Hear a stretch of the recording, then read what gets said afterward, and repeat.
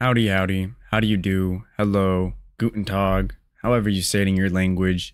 It's the one, the only Benjamin Scovach, the good American, the last good American. Today, I will be teaching you to pronounce the names of different countries, such as Morocco, Australia, Guatemala, Indonesia, and many, many more. Today's country of the day is Sri Lanka. Sri Lanka. Sri Lanka is a country in South Asia. The currency used in Sri Lanka is the Sri Lankan rupee.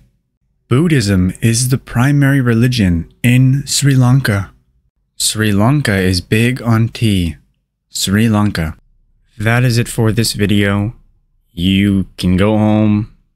Or how does it go? You can go home, but you can't stay here. Oh, wait, you don't have to go home, but you can't stay here. All right.